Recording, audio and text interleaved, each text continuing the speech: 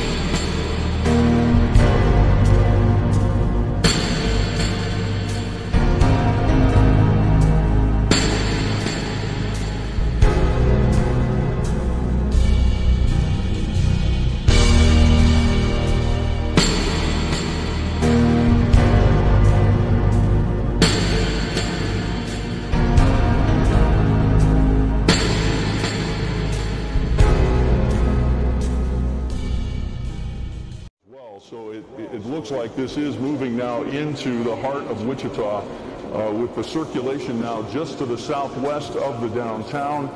And uh, we have actually already told our folks here.